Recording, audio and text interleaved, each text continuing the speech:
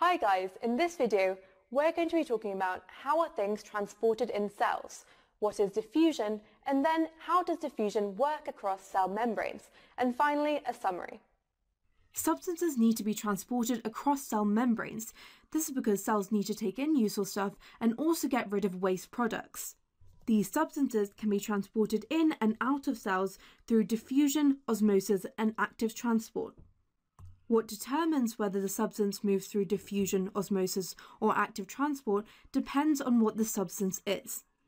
So now let's look at some substance that a cell might need to take in. So for instance, a cell might need to take in oxygen and glucose. A cell might need to get rid of a waste product, such as carbon dioxide. As I said before, these processes move things through the cell membrane. And the cell membrane is useful as it holds the cell together and control what goes into the cell and what goes out of the cell.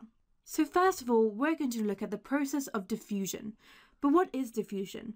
Well, the definition of diffusion is given as the spreading out of the particles of any substance in solution or particles of a gas, resulting in a net movement from an area of high concentration to an area of lower concentration.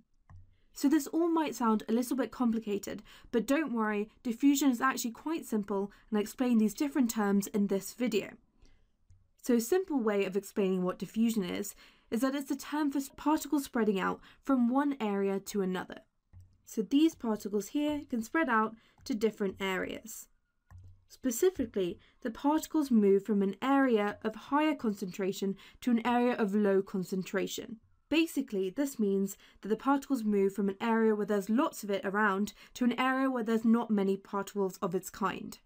You can smell perfumes because particles diffuse from an area of high concentration after you spray it near the perfume bottle and diffuse out to areas of lower concentration. And these include areas near your nose where there are fewer perfume particles around. And this is what allows you to smell the perfume. So moving from an area of high concentration to an area of low concentration is called moving down a concentration gradient. You can think of this as moving down a ladder from a high concentration to a lower concentration. So the concentration gradient is just a simpler way or shorter way of saying the same thing. It's really important you remember this term for exams. So diffusion can actually happen in gases and solutions. This is because the particles in gases and solutions are able to move around freely. So let's look at an example of diffusion in solution. So if you put a drop of ink in solution, the particles of ink spread out in the solution. Eventually, the drop of ink will have diffused evenly around the solution, changing the colour of the solution to the colour of the ink. We know that diffusion can also occur in gases, as we saw in the perfume example before. The one important thing to remember about diffusion is that it doesn't require any energy, it's passive. Other processes that transport substances may require energy, but we'll meet them later on. Well, now we know the mechanism of diffusion, but why is diffusion biologically relevant? Well, diffusion can work across cell membranes, but how does it do this? Well, the cell membranes allow the diffusion of substances in and out. So substances that the cell needs can diffuse in, and substances it doesn't need can diffuse out. However, this diagram I've shown here isn't completely accurate. This is because the cell membranes have small holes in them. This makes them partially permeable. These small holes allow substances to go into and out of the cell membrane.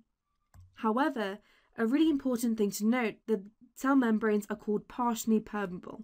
This is because cell membranes only let some things through. You can think of this as a bit like a sieve. The sieve lets larger molecules stay in the sieve but lets smaller molecules through. So this means that small molecules like water and amino acids can go through, but not larger molecules like proteins and starch. So water molecules can go through because they're small, but larger molecules like starch can't. Particles such as glucose move from a high concentration to a low concentration, and this is through the small holes in the membrane.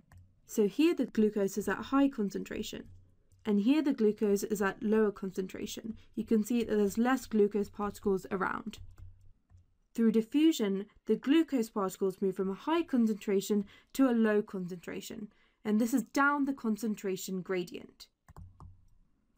It's also important to remember that the movement of particles is random, so the particles go both ways. What's important and what we care about is the overall or net movement of particles. So some particles may move against the concentration gradient. However, we can see through the longer arrow that more particles move from a high concentration to a low concentration, so the overall net movement is from a high to a low concentration. Hey guys, I hope you enjoyed the video.